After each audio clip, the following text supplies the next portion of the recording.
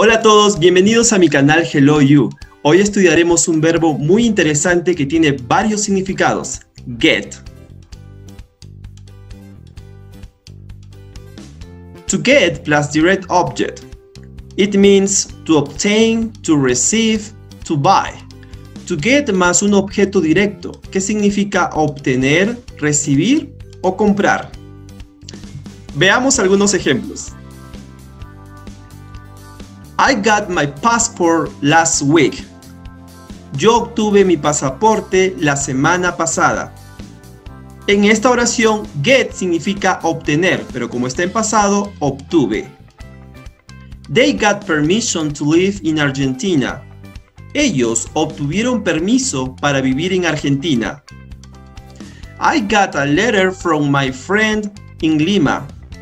Yo recibí una carta de mi amigo en Lima. En este caso, get significa recibir, pero como está en pasado, yo recibí. Next.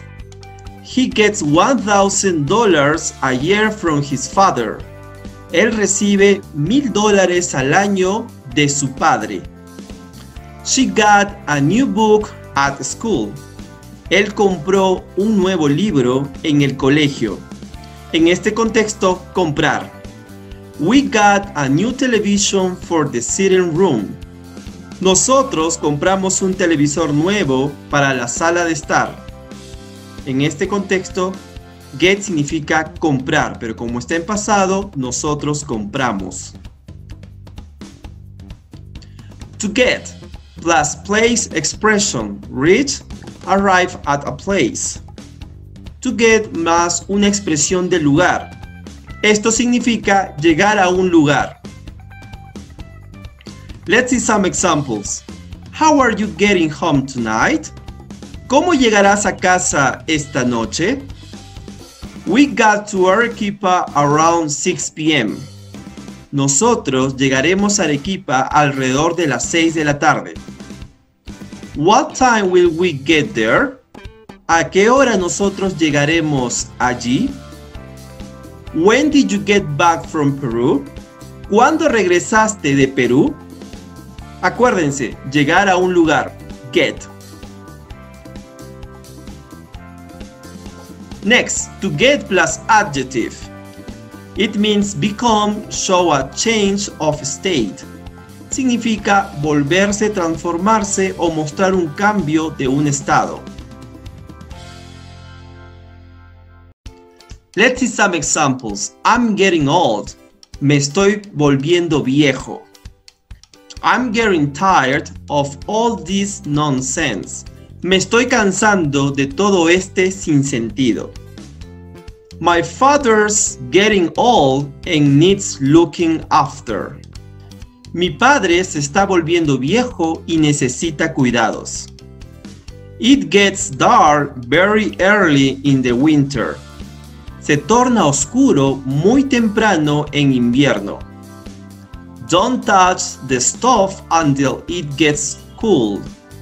No toques la estufa hasta que se ponga fría. Como pueden notar, después del get tenemos un adjetivo. Ahora veamos otras expresiones con get. Other expressions with get.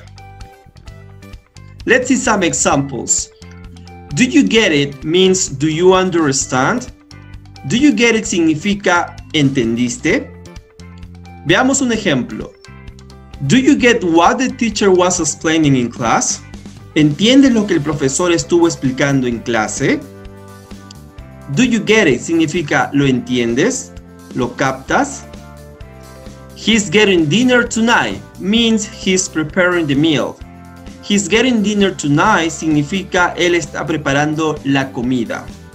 Veamos un ejemplo. You can relax. It's my turn to get dinner tonight.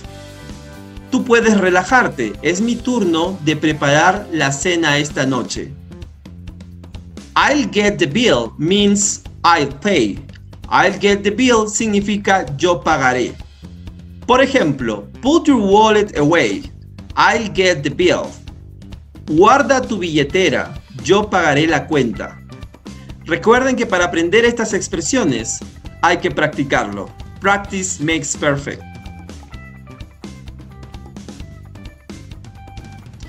That really gets me means that irritates me. That really gets me significa eso me irrita, eso me molesta. Veamos un ejemplo. It really gets me when my sister shows up late. Verdaderamente me molesta cuando mi hermana llega tarde. To get rid of something means to throw it away. To get rid of something significa tirar, deshacerse de algo. Veamos un ejemplo. I'm going to get rid of all these old newspapers. Voy a deshacerme de todos estos viejos periódicos. Últimos ejemplos con expresiones con get. To get out of bed on the wrong side means to be in a bad mood. To get out of bed on the wrong side significa estar de mal humor. Veamos un ejemplo. He got out of the wrong side of the bed this morning and he's been horrible all day. Él está de mal humor esta mañana y él ha estado terrible todo el día. To get your own back means to have your revenge or punish someone. To get your own back significa tener tu revancha o castigar a alguien. For example, she's getting her own back for all those rude things you said at the party last night.